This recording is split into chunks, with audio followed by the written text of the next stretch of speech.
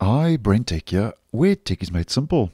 So it seems that as part of the Google Chrome UI refresh for 2023, where Google is bringing more rounded corners and more Material You changes to the browser, it seems now that Google is working on a new extensions page uh, in Google Chrome version 119, which is the latest preview version um, of the browser.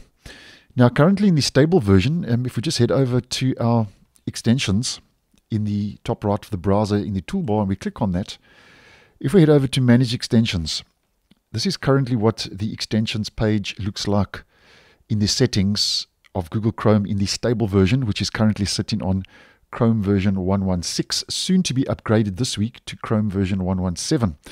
Now, if we head over to Chrome Canary version 119, which is the latest preview version, now, over and above the extensions button in the toolbar, getting a more Material You design as I have uh, posted previously.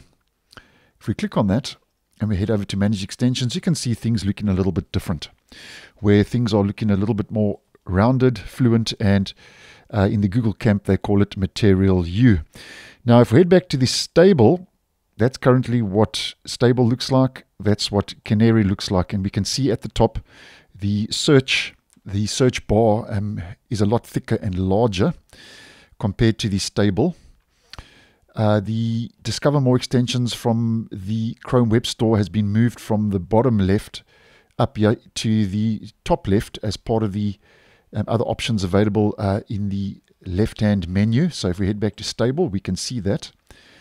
And we can see that things are looking a lot more material you. and there's a lot more kind of a rounded, fluent material you look and feel to those different options.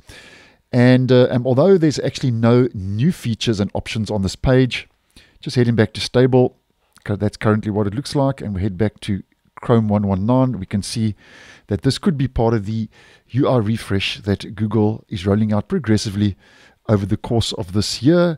But it's still early days. I just noticed this uh, in an overnight update uh, to Chrome Canary and just wanted to put it out there because this could become part, as mentioned, um, of that UI refresh and roll out one day in an up and coming stable version update. So thanks for watching, and I'll see you in the next one.